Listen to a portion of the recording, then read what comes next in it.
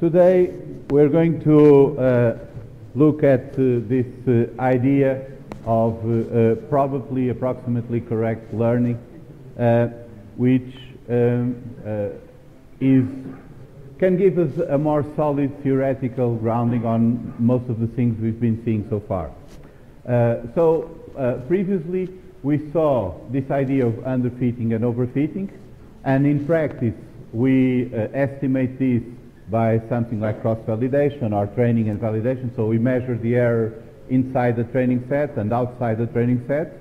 But then we saw a bit, looked a bit deeper when we did this bias and variance decomposition, also empirically by, by bootstrapping, but uh, to understand a bit more, a bit better what is happening uh, inside the, the classifier or inside our models when we, we train them.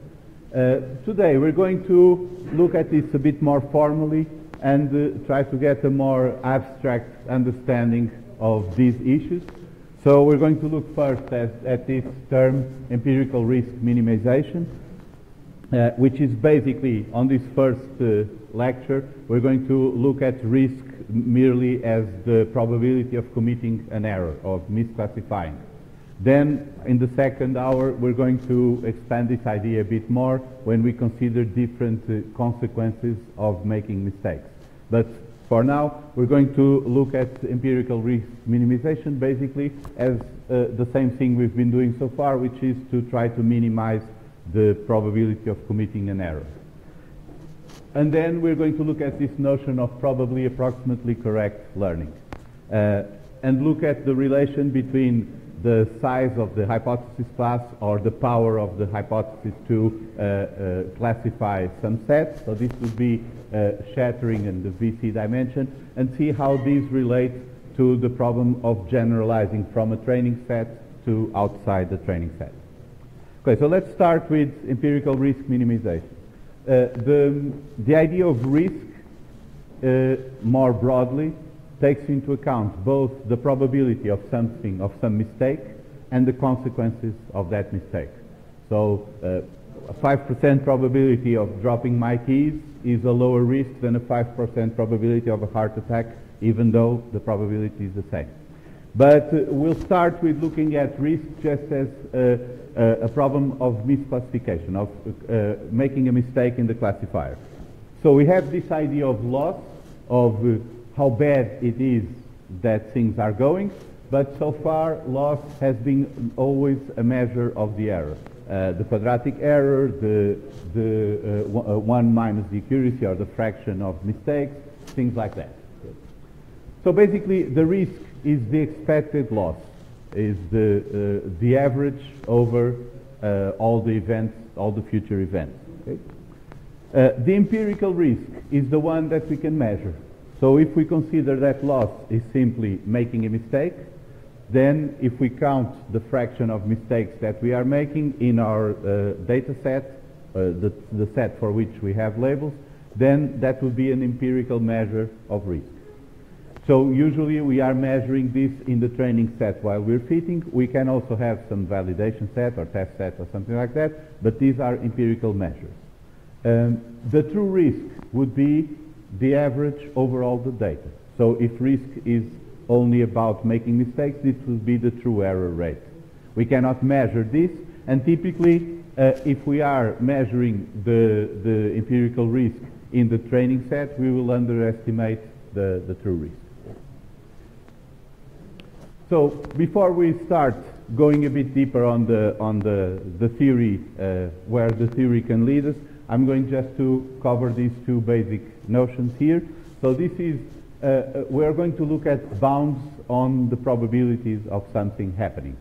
Uh, so we'll start with this simple bound, which is the probability given a set of random events, the probability of any of those events happening, at least one of them happening, is never greater than the sum of the probabilities of uh, either of them happening. So if the events are mu mutually exclusive, this will be equal. The probability of any of them happening is the sum of the probabilities. If there is some overlap, if they can co-occur, then the probability of any of them happening will be lower than the sum of the probabilities. Okay? But it can never be higher than the sum of the probabilities.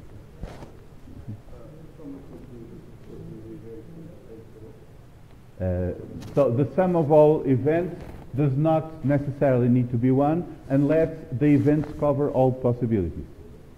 So if you consider the events of raining or the umbrella falling off, then the sum is not 1 because there are many other things too that can happen. Okay? But if you consider the events that cover all the possibilities, then they have to sum up to 1. But in general, they won't because we are not, uh, there are other things that, that may happen too. Okay? Uh, another thing that we'll use further on is this uh, inequality. So imagine that we have these Bernoulli variables. These are ones that can be uh, 0 or 1 or a toss of a coin, something like that. And they, are, they all have the same distribution. So they have the same probability of being 1. Uh, for example, they can be the probability of our classifier making a mistake. This is one of the uses we'll give.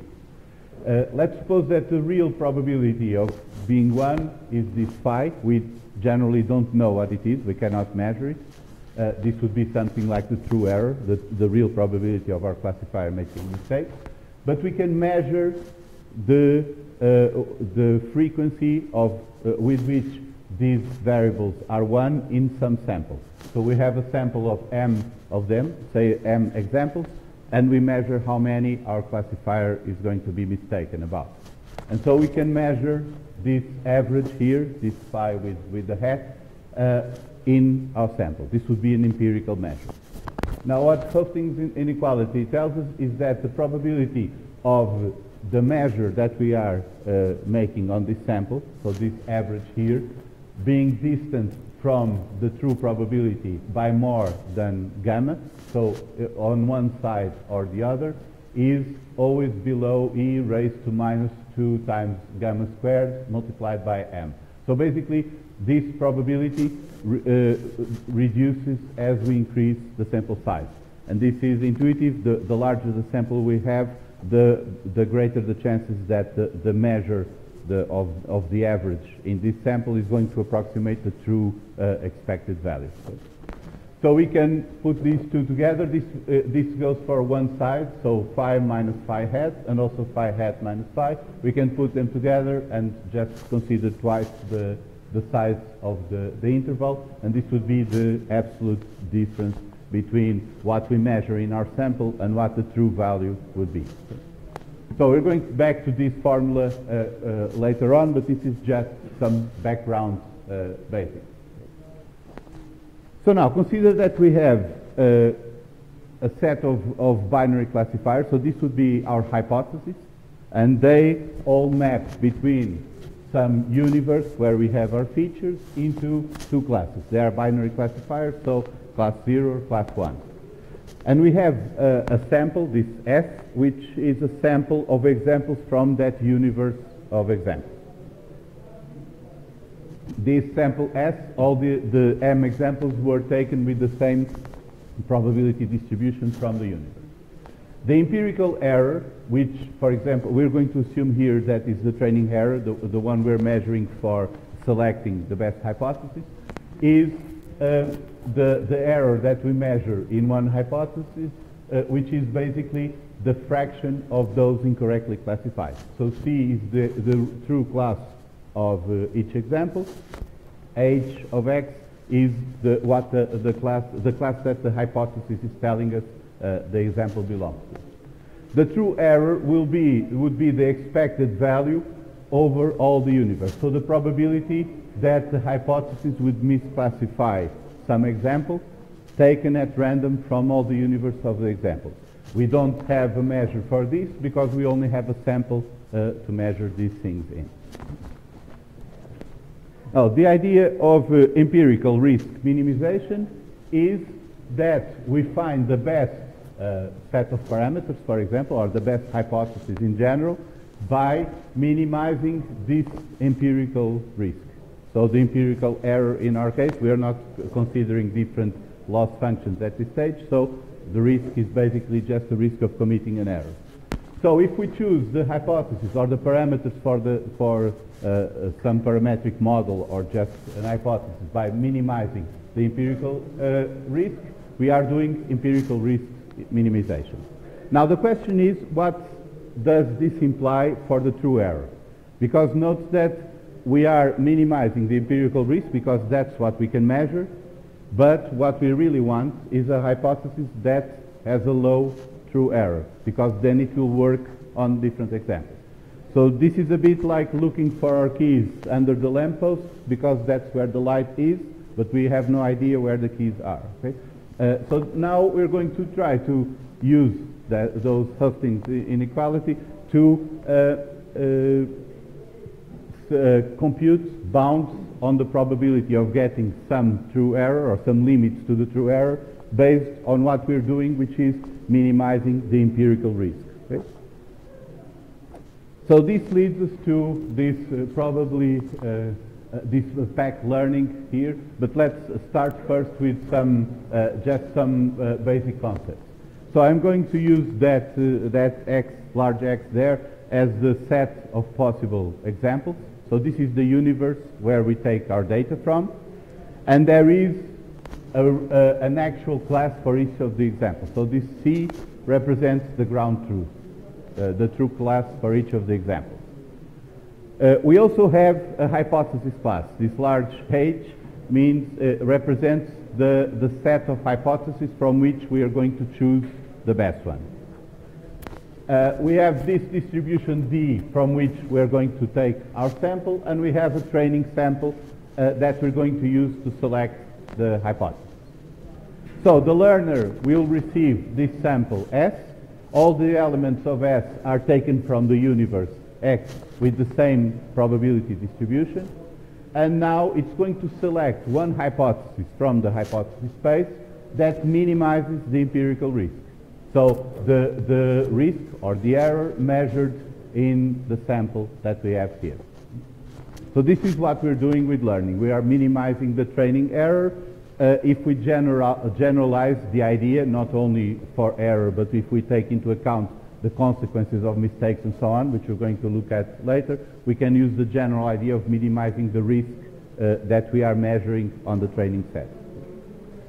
So the problem is that the true error of the hypothesis may uh, be greater than zero. That is, uh, even if we can find one that works well with our sample and can classify all the examples in our sample with no error, it may be that when we apply it outside uh, this sample, the predictions our hypothesis makes for all the, the elements in the universe do not coincide exactly with the classes of those examples. So this would be the true error for our hypothesis. okay, since the true error is the probability of making a mistake over all the, the universe, we cannot observe that. We only observe the empirical error, and this is what we are going to, to learn. One thing that it's not reasonable to demand is that our classifier has a true error of zero. Because in our sample, we cannot consider all possible examples because we only have a sample uh, of all possible examples. So there are things that our learner will never meet. And uh, furthermore, what correlations we find in our sample may actually be misleading because we're only looking at some of the data. It seems like something works because it works on that training set, but actually it doesn't work outside the training set. So for these reasons, it's not reasonable to uh, demand that the best hypothesis we're going to choose based on the empirical error has, is perfect for classifying everything and has a zero uh, true error. So how can we uh, establish the objectives of machine learning? So basically that's what we're talking about here. We cannot say that our goal is to have something that can perfectly classify every possible example because that's not a reasonable expectation. So this is what, uh, uh, where this idea of probably approximately correct learning comes from. It's uh, a relaxation of those goals to a more realistic objective. So what we want is that the hypothesis that we choose, so the best hypothesis we choose using the, the training sample, has an error that is low. That is, this hypothesis is approximately correct. So the error is below some epsilon value there. But this we also cannot guarantee with 100% certainty. So actually, what we require is that the probability of our hypothesis, the one we chose, having a true error below this epsilon, is greater than 1 minus some delta, some, some slack that we are imposing here. Uh, and the requirements are simply that the hypothesis is approximately correct, that is, this delta is below one half, so we are getting things right more often than, than not. And the probability of this happening is also greater than 50%. So this delta is also a small value below one half. And this is the notion of probably approximately correct learning, Me- meaning that with a greater than 50% probability, we are obtaining a hypothesis that has a true error below 50%. This is, uh, it seems like a modest goal, but at least it's a more realistic one than just requiring uh, a zero true error. We also say that uh, we have an efficient, probably approximately correct learning if the time, the computational cost of learning increases only polynomially with, as we decrease the, the epsilon and decrease the delta. So if you want uh, the true error to be smaller with a larger probability, then this will increase polynomially in the, uh, uh, in the training time, and when that happens, then PAC learning is polynomial. Now we are assuming here for, for the, uh, the derivations I'm going to show uh, uh, going on from here that the hypothesis class is finite and that inside the hypothesis class there is at least one hypothesis for which the true error is no larger than epsilon. So the hypothesis class must contain a hypothesis that meets this criteria. And uh, we are going uh, to uh, draw all our training and testing examples, and all the examples, uh, we are drawing them with the same probability distribution. So given these goals and these assumptions, what can we say about the relationship between the size of the training set, the probability of getting something approximately correct, and how approximately correct we can get it? So let's start with defining this idea of a consistent hypothesis. A consistent hypothesis is a, a, hypothesis that classifies the training set with no errors. So the empirical error for that hypothesis is zero. The version space of our hypothesis class is the set of all hypotheses that have an empirical error of zero. So a set of all consistent hypotheses. So you can imagine that you have a, a, class of hypotheses where you're going to choose the best one, and there is a set there, a subset of hypotheses, which all classify our training set with no mistakes. So a consistent hypothesis minimizes the empirical error because the error cannot be smaller than zero, and those are those that minimize the empirical error. We have a consistent learner if the learner gives us a hypothesis inside the version space, so a consistent hypothesis. This means that when we train the learner, it will give us a, a hypothesis that results in zero errors on the training set. now we can also talk about this uh, epsilon exhausted if uh, all the hypotheses uh, in the version uh, set have um, a true error below epsilon. So if this happens, if all the hypotheses in uh, all the, the hypotheses in the version space, so all consistent hypotheses have a true error below epsilon, then when our learner gives us a consistent hypothesis, the true error of that hypothesis will be below epsilon. So this gives us approximately correct uh. Uh, it's not, the version space is not epsilon exhausted if there is at least one hypothesis inside the version space, that is one hypothesis with zero error on the training set that has a true error greater than epsilon. Now the problem is that we cannot tell which of the case is true. We, we cannot tell if there are any hypotheses in the, the um, uh, version space, so any consistent hypothesis with our training set that have a true error greater than epsilon. Uh, because we cannot observe this, the, the true error. But we can try to estimate what are the probabilities of this happening. So the probability, what is the probability that no hypothesis inside the version space has a, a, true error greater than epsilon? So let's consider uh, these hypotheses that are inside of our hypothesis class, and they all have a, an error, a true error greater than epsilon. So we can switch this question around and ask what would be the probability of any, uh, at least one of those hypotheses that has a true error greater than epsilon ending up inside the version space. That is, being an hypothesis that is consistent with the training set and gives a zero error on a training set, even though the true error is greater than epsilon. So the probability of this hypothesis being consistent with one example must be below 1 minus epsilon, because epsilon is the probability of error, and so the probability of the hypothesis correctly classifying our example, if the, the, uh, the true error of the hypothesis is greater than epsilon, the probability of classifying an example correctly must be less than 1 minus epsilon. The probability of being consistent with all the examples in our training set is just the product, is, must be below the product of all these. So 1 minus epsilon raised to m, where m is the size of the training set. So if one hypothesis has a true error greater than epsilon, the probability of being consistent with all the examples in our training set must be below 1 minus epsilon raised to m. Now, we can ask what happens if we have several hypotheses with a true error greater than epsilon. Then suppose that we have k hypotheses with a true error greater than epsilon.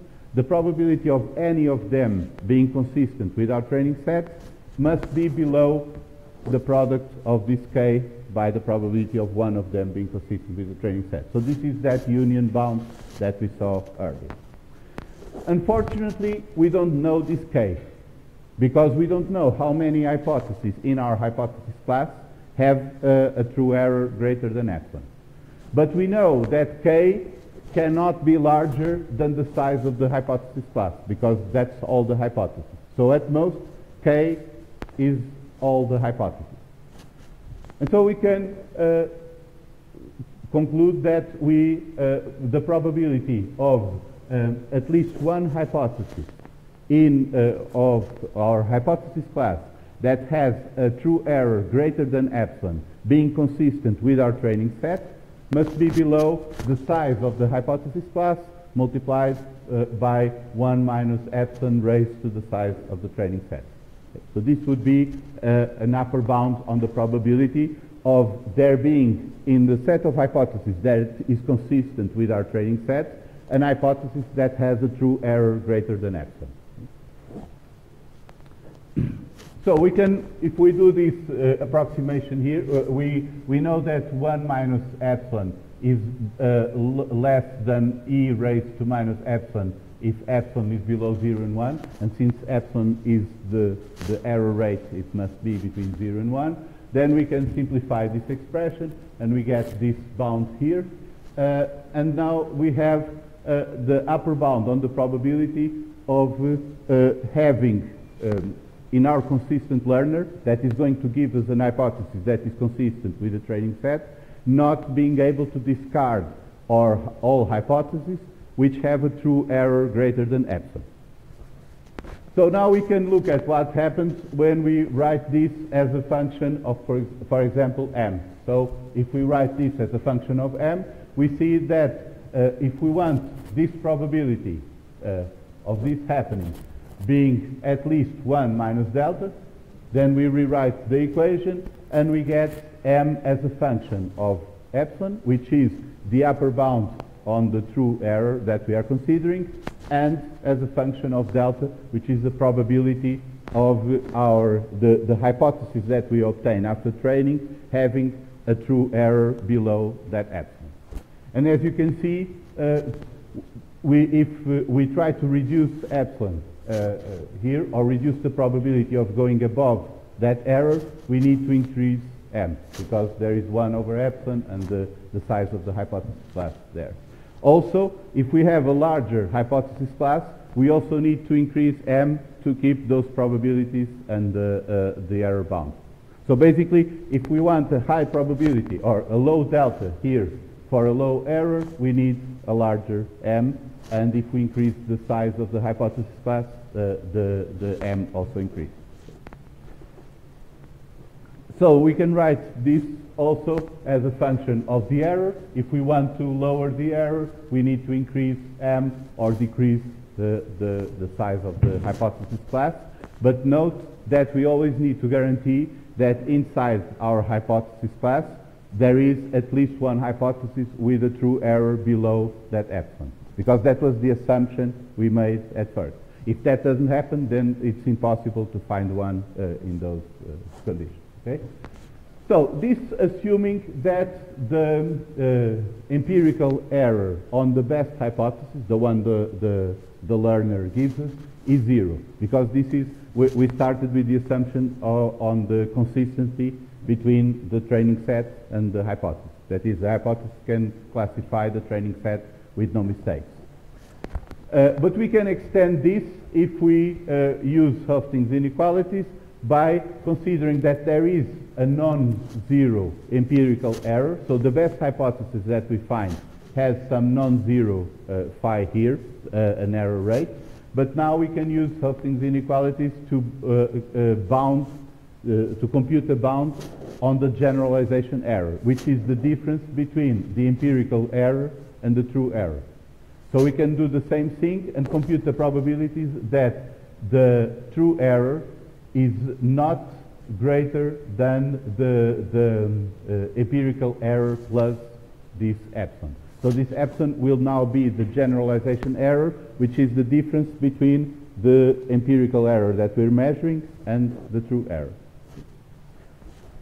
So if we do this, we get uh, this uh, expression here too. So uh, 1 over 2 uh, epsilon squared and the logarithm of the size of the, of the hypothesis class divided by delta.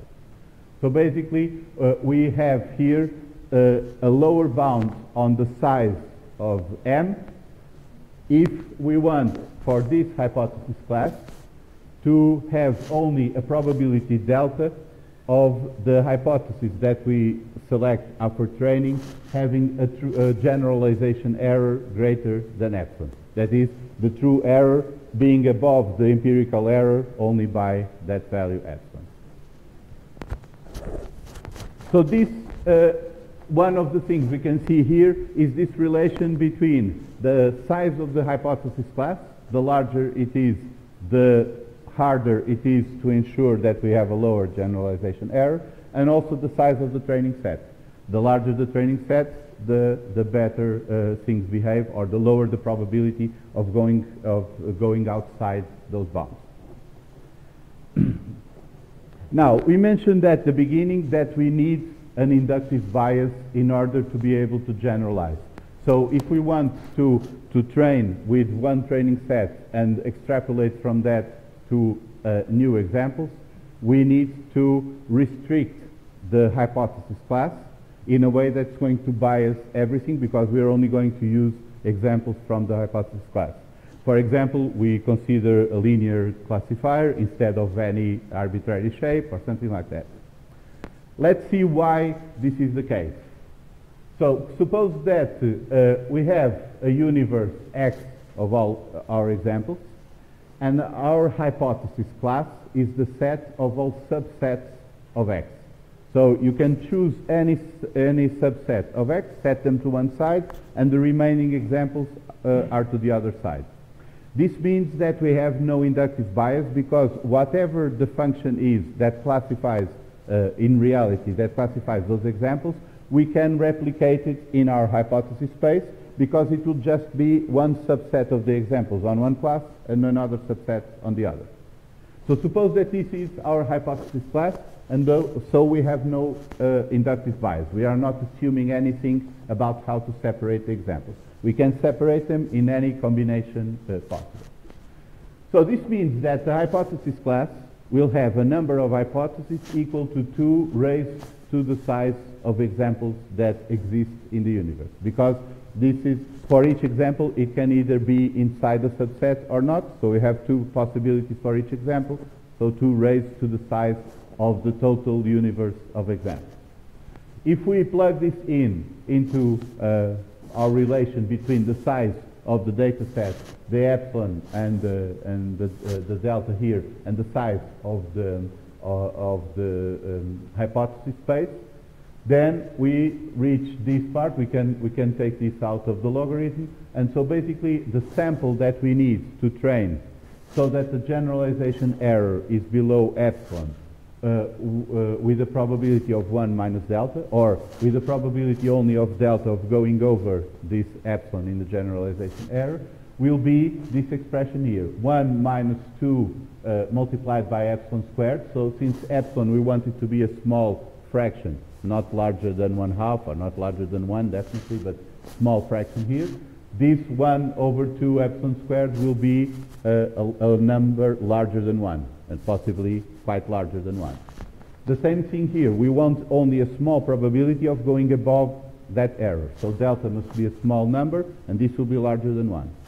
So basically, we have two numbers here that are larger than 1 multiplied by the total number of examples in the universe, which means that without inductive bias, we would need a sample that is larger than the total number of, of examples in the universe in order to guarantee this, uh, this bound on the error. And that is one way of understanding why we always need to restrict the kind of, of hypothesis we use, because if we allow everything, then we cannot put a reasonable bound on the generalization error, and we cannot generalize from the training set to outside the training set. Now let's see this uh, uh, in a different way. We're going to uh, uh, consider the look at the bias variance trade-off, but more from this uh, approach of trying to estimate the, the bounds on the error with some probability. So this is basically the, the main idea uh, uh, behind this probably approximately correct learning. The approximate part is this epsilon, the probably is the delta, and now we are dealing with these bounds on, the, on these values. So let's suppose that this uh, uh, H star is the best hypothesis that we have in our hypothesis class. The best hypothesis is the one that has the smallest true error. Of course, we cannot find the one with the smallest true error because we cannot measure the true error. So actually, what we do is we find the hypothesis with the smallest empirical error, the one with the smallest error in the training set. Uh, now, the, the question here is we have this generalization uh, error on the, the uh, uh hypothesis that we chose, which is uh, the difference between the true error of that hypothesis and the empirical error of that hypothesis. But now we want to look at it uh, in a way that is similar to what we did with bias and variance decomposition. So we know that the, the probability of the true error of our uh, hypothesis, the one we chose by minimizing the empirical error, uh, being below the empirical error of the hypothesis plus this generalization error is uh, greater than 1 minus that, that delta there. So this, this is basically our premise and from which we derive the rest. We also know that the, the uh, empirical error of the hypothesis we chose cannot be larger than the empirical error of our uh, best hypothesis because our learner is going to minimize the empirical error and give us an hypothesis that has the smallest empirical error. So if the best hypothesis had a smaller empirical error, that would be the one the learner would give us. Okay? On the other hand, the true error of the best hypothesis cannot be larger than the true error of the hypothesis we got from learning. Because by definition, the best hypothesis is the one with the smallest true error. Okay? So if we put these two together, we can uh, uh, add up the, the bound there, the epsilon, and we get a relation between the true error of uh, the hypothesis we chose, so the, the hypothesis the learner output, and the true error of the best hypothesis plus these uh, two epsilon. So now we go back to those original formulas, we replace uh, those things there, and we can uh, reach this uh, expression here, which is that the true error of the hypothesis we chose from uh, the, the learner, so by minimizing the error in the training set, must be the smallest possible error in our hypothesis space. So this would be the error of the best hypothesis in our hypothesis class, plus this expression here that depends on the size of the training set and the size of the hypothesis class. And here we can see this uh, parallel with bias and variance. So basically, the best hypothesis in our hypothesis class is, in a sense, the bias in that uh, statistical sense, which is uh, if this term is large, it means that we don't have any good hypothesis in our hypothesis class, and we are underfitting. So our model is biased because it cannot adjust well uh, to the, the data. On the other hand, we have this uh, term here that gives us a, an idea of how, uh, how flexible, how large the hypothesis space is with respect to the training set and how wildly it can fluctuate between the training set and outside the training set. So basically, if we have a high variance with a, a, a large hypothesis uh, class, then this term will dominate this expression. And so here we can see the trade-off between these two things. A smaller uh, hypothesis space is less likely to have a good hypothesis there. And so that problem, the problem that all the hypotheses in the hypothesis space have a large true error, will dominate uh, uh, our, our results. On the other hand, if we have a very large hypothesis space so that anything can, can work there, then the second term will start to dominate and we have a, larger generalization error because we are, uh, we, uh, are trying to uh, fit too much the data and uh, uh, we increase the probabilities that the bound of our generalization error will increase. So this so far we've been looking at this assumption that the hypothesis space, hypothesis space is finite. So this is not really a practical uh, thing expression to use. You're not going to try to compute these upper bounds empirically, but uh, the main idea here is to get a notion that if we uh, consider this as the probability of being wrong and the relations between the different things, the sample, the hypothesis space, and so on, we can get a solid foundation on, on these notions of bias, of variance, of uh, needing to have a large data set if we have a, a very large hypothesis class, and so forth. However, this assumption that the hypothesis space is finite is not really very realistic. We, we generally use infinite hypothesis spaces because we can, for example, with logistic regression, we are defining the, the hyperplane with continuous parameters, so we have an infinity of hypotheses that we can get uh, from that model. And if the hypothesis space is infinite, then this doesn't make much sense. We get a, an infinitely high bound and nothing useful from the expression.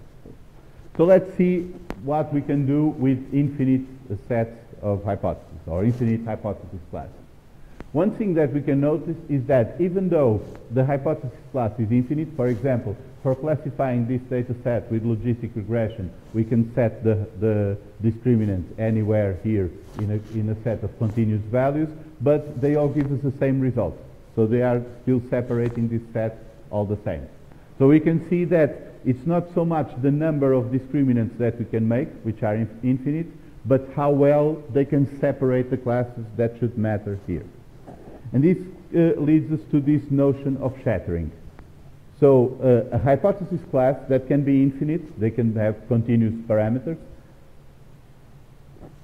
shatters a set of examples if for those particular examples any labeling that we assign them, so any combination of the two classes, in this case we assign these examples, can be separated without error.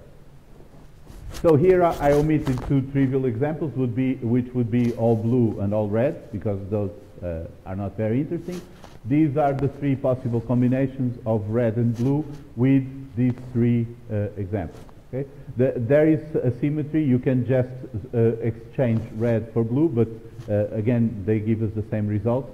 Uh, and we can see that if we have three points in a triangle like this, then a straight line in two dimensions can shatter this set. Note that uh, the requirement is that uh, the points have to be classified without errors for any labeling, but the, the position of the points is fixed in this case. Because it would be trivial to place two points in the same position and then the classifier would not be able to distinguish them. So you can always set two points in exactly the same place and no classifier will be able to tell the difference between them because they have the same uh, set of features. But the idea here is that we are putting the points where it's most convenient and we demand that the classifier be able to uh, classify correctly whatever the label we have. So inside our, our hypothesis class, there is always one hypothesis that classifies whatever the labels are.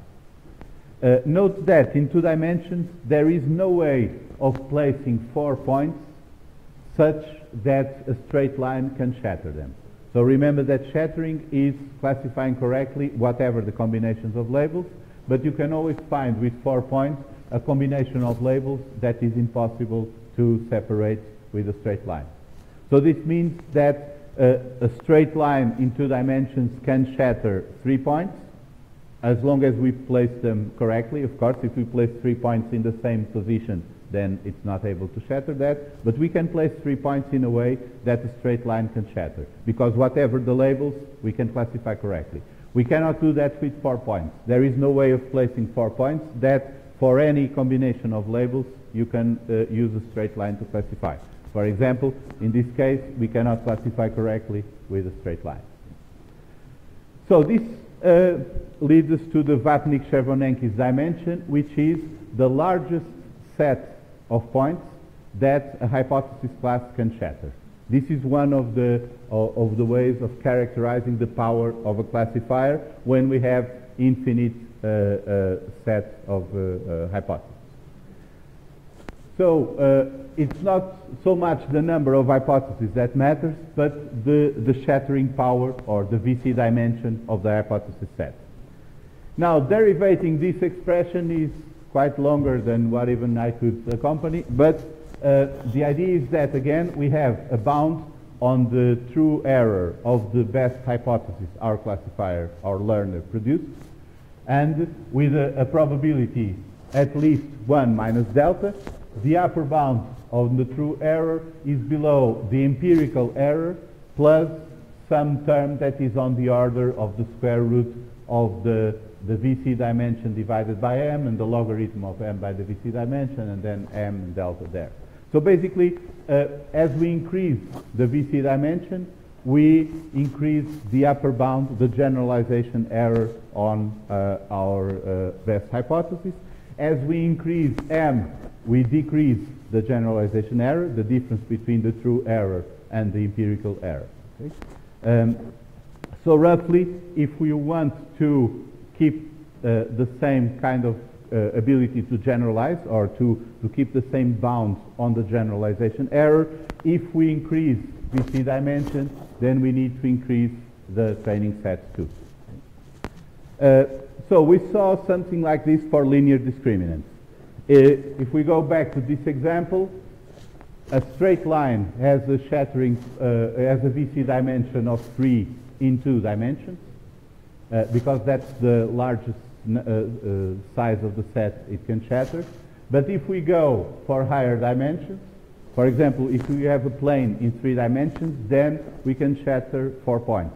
So the VC dimension of a, a plane in 3D is uh, 4. That's the number of points it can shatter. I, and in general, the VC dimension of a linear discriminant, something that separates with a linear hyperplane, is the number of dimensions or the number of features we have plus 1. So if we do that trick of projecting our features into a higher dimensional space with a nonlinear transformation, that means that the, the examples are actually occupying the the higher dimensional space and not just a, a, linear uh, hyperplane on that space, then we increase the shattering power of our linear discriminant. The linear discriminant in four dimensions is better able of shattering some sets than uh, in three dimensions and in five dimensions even more and so on. So this is what we have been doing with, uh, since the beginning when we started doing those expansions or what we do implicitly in support vector machines with the kernel trick and so on. We increase the, the Vapnik-Chervonenkis dimension of our hypothesis set by going into a higher dimensional space with more features, which uh, helps us uh, classify because uh, we can reach a VC dimension high enough in order to be able to classify our data set, but has this problem. It can start overfitting because we are increasing the bounds on the generalization error. Okay? So this, again, is a more theoretical framework where we can understand what are the relations between these, these different uh, factors. So to sum up, this, uh, this lecture here was especially dry, even in the context, the context of this course, but the idea is to give you a, a, a notion that this is not, machine learning is not just about fiddling with things and seeing if they work, uh, but there's also a solid foundation here for, for some of these uh, aspects of uh, the problem of generalizing from the training set to the test set, the relations between the power of our models, the size of the training set we need, and how the, the generalization error will be, and so forth. So uh, for this course, this is just a lecture in between the part of supervised learning and now before going into unsupervised learning. So we are not going to focus this into more detail. This is basically the, the most theoretical letter, lecture of the course. But it's good for you to have a, a, a, notion of these foundations, at least to know that they exist and understand uh, these relations. Okay? So if you want to read more about this, uh, chapter 7 of uh, Mitchell's book has uh, especially the first part, but it's a bit, a bit outdated, so it doesn't reach the Vapnik-Chervonenkis dimension and so forth uh, with this detail. So it doesn't have this uh, expression here, which is more recent. You can also look at uh, a, brief introduction here. But the most important part is that you understand what are these uh, different things. So what is the, the VC dimension, uh, what's, what's the influence of the size of the training set, what, what this means, the bounds on the, the uh, generalization error with some probability. So basically, uh, these notions are what's important to retain here.